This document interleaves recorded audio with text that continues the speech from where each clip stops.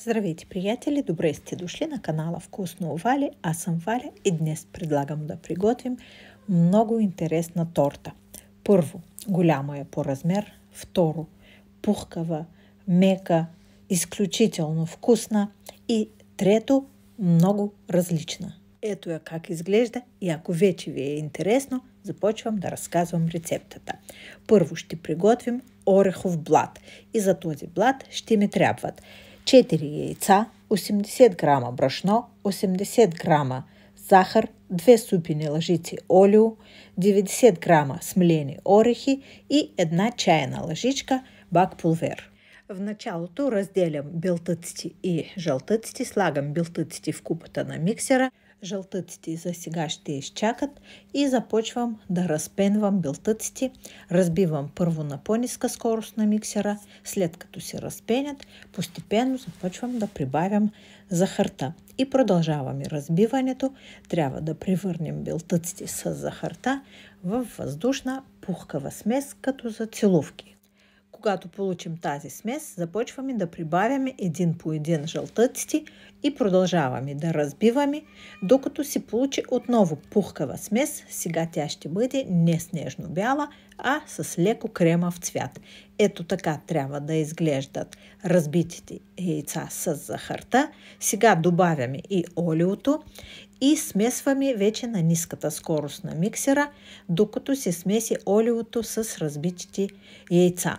Сега вече можем да спрем миксера. Ето как изглеждат до сега продуктите в купата и трябва да добавим към тези продукти брашното и бак пулверата. Добавям брашното.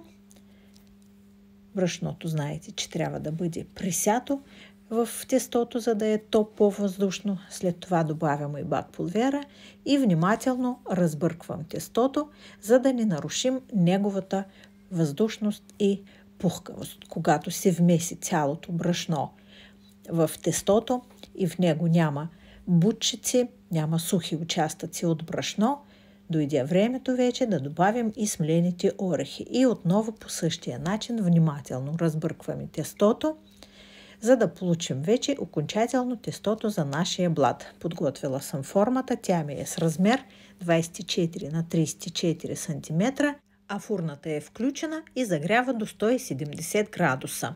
Разпределям равномерно тестото в формата и изпращам в фурната за 40 минути. И докато се пече нашия блат, можем да приготвим първия крем. За него ще ми трябват 5-6 жълтъка, белтъците обикновено после използвам за целувки или за ореховки. Освен това ще ми трябват 140 грама захар, 150 мл прясно мляко, 200 грама краве масло, 10 грама ванилина захар и една супена лъжица коняк или ром. Слагам жълтъците в малка тенджерка с дебело дъно и хубаво ги разбърквам – след това започвам малко по малко да добавям прясното мляко и продължавам да разбърквам така, че да няма абсолютно никакви бутчици в тази смес. След като добавя цялото мляко, прибавям и захарта и продължавам да разбърквам. След това добре разбърканата смес принасям върху котлона, включвам котлона и започвам да загрявам до завиране. Внимавайте да ни загори дъното, защото кремът ще бъде изцяло развален. Аз съм сменила вече телта с силиконова лопатка и с нея, с тази шпатулка, е така бъркам, проверявайки от време на време дъното, за да ми е чисто и не загоряло.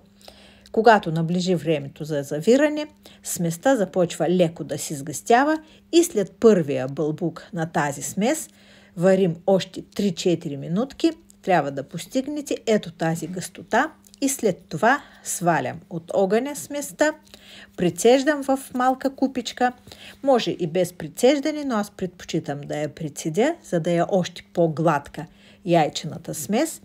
И след това тя трябва окончателно да изтини Покривам я с стреч фолио, ето така в контакт, за да не се заветря докато изтива и оставям за сега на страна. През това време блатът ми вече е готов. Проверявам с дървена клечка за готовност. Клечката излиза суха, значи блатът ми е готов. Обръщам блата върху дъска, за да свалим хартията за печене. Става много лесно. Тук има малко брашно, което ще изчеткам. И отново обръщам блата с лицето нагоре, оставям го да изтини напълно и след това изрязвам отстрани много тънки ленти от блата, за да стане той равен и по-красив. А сега можем да довършим крема.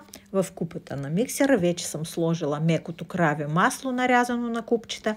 Добавям към него ванилината захар и трябва да разбием маслото, докато стане по-светло и по-пухкаво. И към разбитото масло на порции започвам да добавям изтиналата яйчена смес. Добавям и Разбивам добре с миксера от време на време. Ето така помагам на миксера, обирайки сместа от стените на купата. И така прибавям цялата яйчена смес и лъжицата коняк, която сме подготвили по-рано. Продължаваме разбиването, докато стане кремът ето такъв пухкав и много гладък. Погледнете, готов ми е крема. Аз го прехвърлям сега в сладкарски пош и оставям на страна, за да мога да приготвя и вторият ни крем. Вторият крем е още по-лесен, за него ми трябват само три продукта.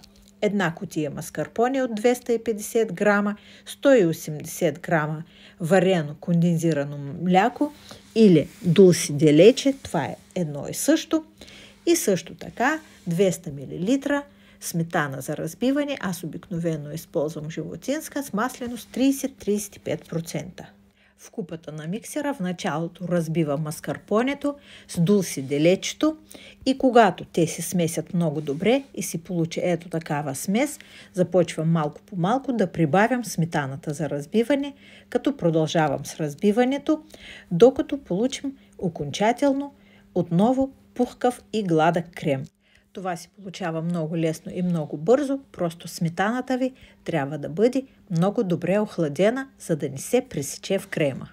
Запълвам и втори сладкарски пош с втория крем, за да можем да започнем сглобяването на тортата. Върху голяма правоъгълна дъска сложила съм хартия за печене и започвам да редя бисквитите савоярди, които са една от основните съставки на нашата торта – и за днешната торта ще ни трябват 40-44 броя от бисквити савоярди. Потапям ги съвсем за кратко в прясно мляко и редя ето по този начин на два реда върху хартията за печене. Докато ги нареждаме, те леко умекват и затова към края на нареждането трябва леко да притиснете бисквитите помежду си, за да образуват по-плътен долен блат на нашата торта. След това наредените бисквити покривам с първия крем. Оставете част от бисквитите около 1-2 см от края без крем и върху това бордюрче след това слагам розички от втория по-тъмен крем. Върху така нанесения крем сега вече можем да сложим подготвения орехов блат. И върху този орехов блат отново ще нанесем от двата крема, отново отстъпвайки от края и тук трябва да нанесем остатъка, т.е. втората половина от първия ни крем. След това отново по бордюрчето слагам розички от втория крем и в средата слагам още мъничко от втория крем.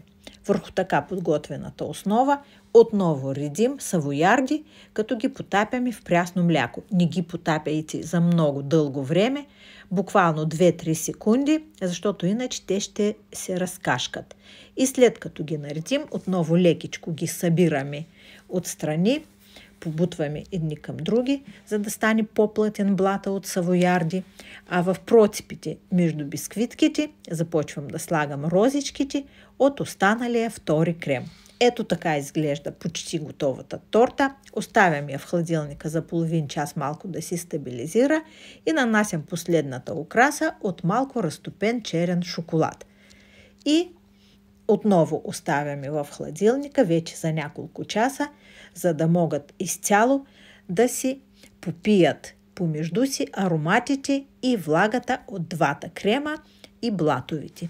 Вижте как изглежда тортата. Невероятно мека, въздушна, пухкава, както ви казах, и е голяма по размер, така че ако ще имате повече гости, това е вашата торта И ако тя ви е харесала, приятели, знайте, както винаги, долу в описанието под това видео ще намерите всички необходими продукти с точните им количества, за да работите по-лесно с моята рецепта. А аз ви благодаря, че отново бяхме заедно, че сте избрали да гледате моя канал и моята рецепта. До нови вкусни срещи и до нови интересни рецепти на канала Вкусно Овали.